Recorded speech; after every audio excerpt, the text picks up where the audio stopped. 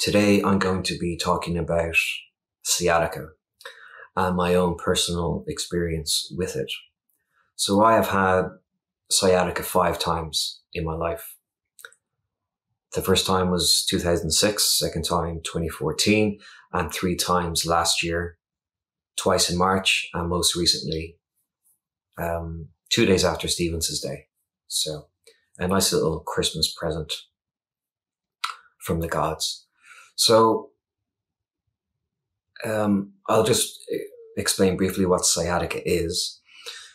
It is the medical term used to describe uh, when the sciatic nerve becomes compressed or irritated by something. In most cases, it is as a result of a herniated disc that has slipped out of place in the lumbar spine or the lower spine, as it's also known as, and has uh, compressed the sciatic nerve, um, kind of pressing in like this or pinching. And so these, the sciatic nerve, it's the longest nerve in the human body. It's about 15 to 20 inches long. It's roughly the same width as your thumb. It originates in the lumbar spine and travels down the buttocks, the thighs, and the legs. So in my case, I was given a diagnosis of sciatica after an MRI that I got in March after my second bout last year. And my MRI revealed that I had desiccated, or in other words, dried out um, disc bulges at the L1 and L5 regions in the lumbar spine. So they had, they were herniated and bulging out and they were pressing against my sciatic nerve. I also had a minor indentation on the anterior thecal sac at the L5 region. And that's basically a protective membrane around that disc. So based on that MRI, like I said, I got my diagnosis and that's what caused sciatica in my case. And the pain, um, it was radiating in the lower back, which is, I mean, by definition, that's where the pain originates because that's where the nerve is. But a lot of people I've, I've heard have described the pain traveling down the buttocks and the thighs and the legs and even to the feet, causing numbness, tingling sensations. Uh, for me, it was in the lower back, and that's it 99.9% of the time anyway. That's where it was radiating. So the pain of sciatica is pretty intense, uh, pretty distressing. Um, my primitive brain went into full on defense mode. Um, it was sending messages like, you're going to die. You know, this is the end. So I had to fight the primitive part of my brain. Not very nice. Um, for those of you who haven't experienced sciatica, um, it's hard to put into words unless you experience the pain. All I can say is it's really, really bad. I think the best analogy I can think of is someone um, with a red hot garden spade, violently thrusting it into your lower spine. That's the best analogy I can have. So, um, it doesn't sound very nice, uh, but I think this pain of sciatica is worse than the analogy I gave.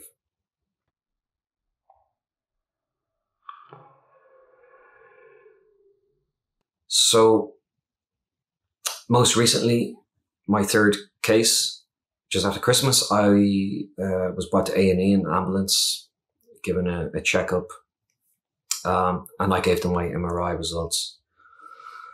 So I was prescribed two medications: uh, a medication for neuropathic pain or nerve pain, and a painkiller slash anti-inflammatory. So in that order, pregabalin and Vimovo. both very, very strong drugs. Um, they made me feel very, very drowsy. However, that particular combination did provide a little, a little bit of relief. But um, my path of recovery um, is based not solely on medication, but on movement as well and flexibility. Even at my worst phase, um, when I was bedridden, I had to start moving around. I did think that staying in bed was the best thing because that's what my brain was telling me to do. You need to rest, you need to sleep this off. But it was just making things worse because the muscle was locking up because I was immobile.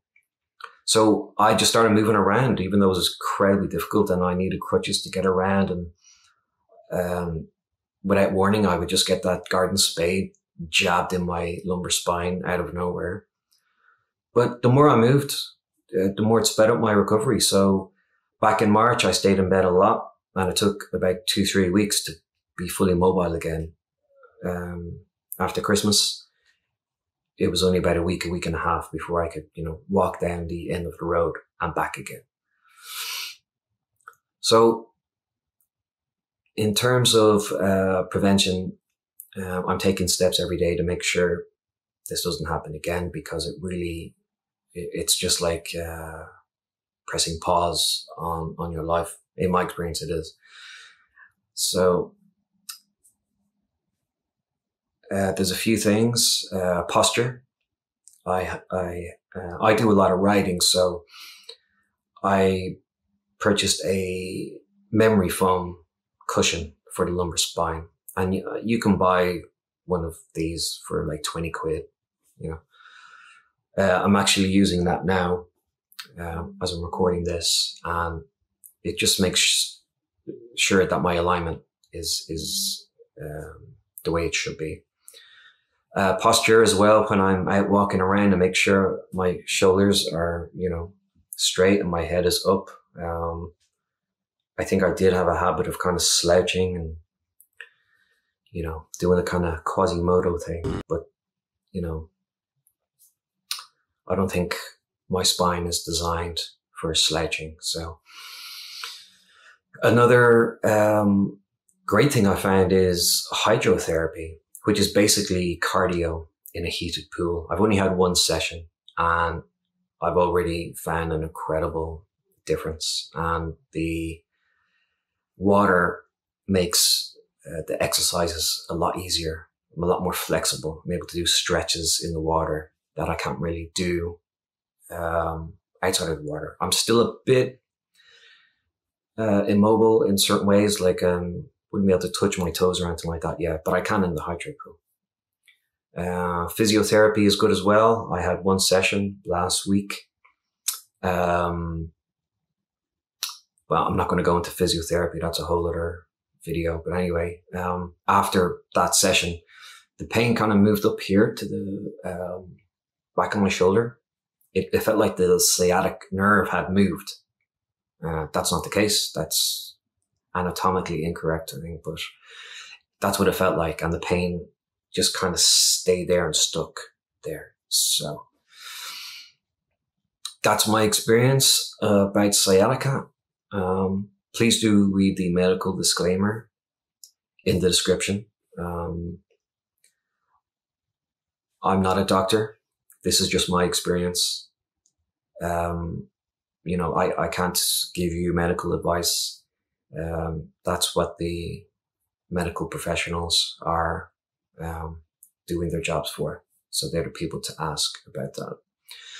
So if you liked the video, please do give a thumbs up. If you would like to drop a comment about anything discussed in the video, do drop a comment and I will respond and if you like the channel, please do subscribe. I really appreciate it. The more people that subscribe, the more it tells me that you like this mug and you like this content. So that's enough waffling. Um, so just to recap, sciatica is the term used to describe compression on the sciatic nerve. Um, I got a diagnosis after an MRI, which showed two herniated discs in the lumbar region, compressing my sciatic nerve. I was prescribed medication for neuropathic pain and also a standard painkiller and anti-inflammatory and my preventative measures to ensure this doesn't happen again because I think sciatica it's a case of not if it happens again it's when so posture lumbar support cushion um, ensuring I'm upright when I'm walking and even standing around, making sure that I'm not slouching or, like I said, doing the Quasimodo thing. and hydrotherapy, brilliant. Uh, you know, I'm I'm here to advocate hydrotherapy. Like I said, one session, and I've already found a difference. All right, that's enough. Thank you so so much for watching. I hope this was an eye opener. Remember, I'm not a doctor. Um, I was just talking about my own personal experience with sciatica. Okay, see you later.